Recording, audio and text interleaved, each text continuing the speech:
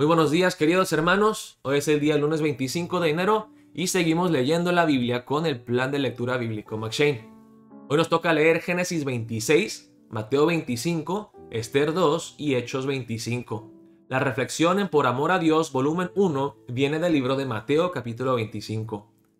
La parábola de la oveja y las cabras llama nuestra atención sobre los hambrientos, los sedientos, los desnudos, los enfermos y los encarcelados tiene mucho que decirnos en un mundo donde los pobres, los desgraciados y los menos afortunados pueden verse descartados con tanta facilidad, situados en la periferia de nuestro campo de visión.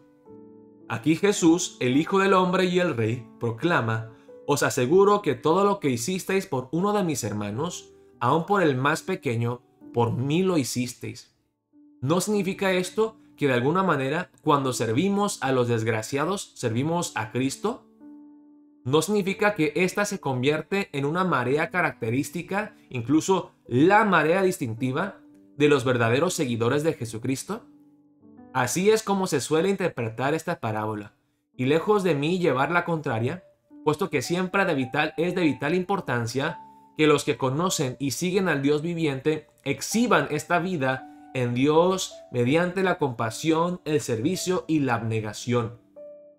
No cabe duda de que el resto de las escrituras tienen muchísimo que decir acerca de nuestro compromiso con los pobres.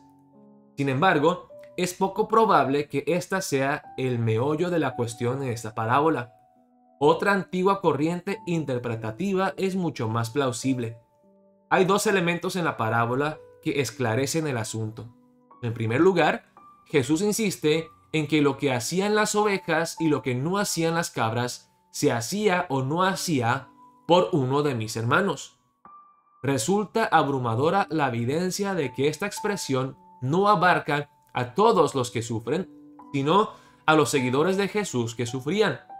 El énfasis no está en la compasión en sus dimensiones genéricas, por mucha importancia que se dé a esta en otras partes, sino en la compasión mostrada hacia los seguidores de Jesús que padecen hambre o sed, que estén desnudos, enfermos o en la cárcel. En segundo lugar, tanto las ovejas como las cabras se sorprenden al pronunciar Jesús su veredicto en función de la manera como ellos han tratado a los más humildes de sus hermanos. Si Jesús estuviese refiriéndose a la compasión en términos generales, es difícil comprender por qué esto produciría sorpresa. Lo importante aquí es la identificación por parte de Jesús con los que han recibido o no han recibido ayuda. Y esta es una característica recurrente y permanente de la religión bíblica. Por ejemplo, cuando Saulo persigue a los cristianos, persigue a Jesús, Hechos 9:4. Los verdaderos seguidores de Jesús harán todo lo que esté a su alcance para ayudar a otros seguidores de Jesús especialmente a los más humildes y más despreciados entre ellos. Otros no sentirían ninguna inclinación especial en este aspecto.